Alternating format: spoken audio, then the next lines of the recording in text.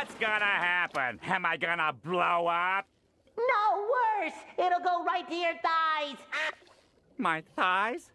Uh, that's so, so beautiful.